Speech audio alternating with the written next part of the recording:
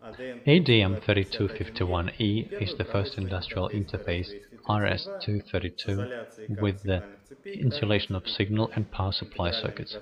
An integrated microcircuit has a small outline which is intended for surface mounting.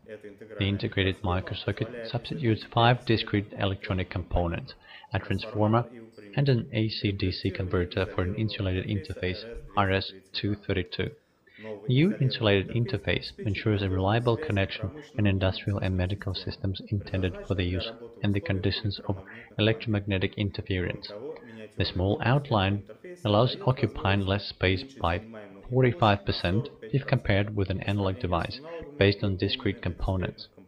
Integrated microcircuits ADM3251E allow minimizing devices and their cost insulator ADM3251E characteristics.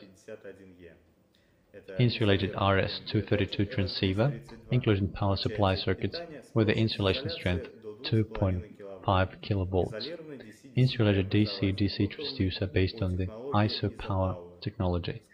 Data rate up to 460 kilobyte per second. One receiver and one transmitter.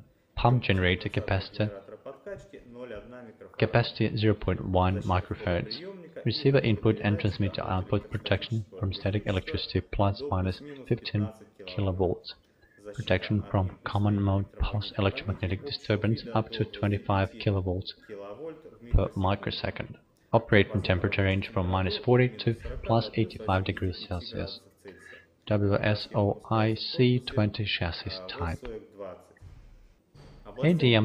ADM3251E microcircuits are applied in data collection systems operating in the conditions of electromagnetic interference, industrial telecommunications, ports of telecommunication and industrial equipment, and buildings' climate control systems.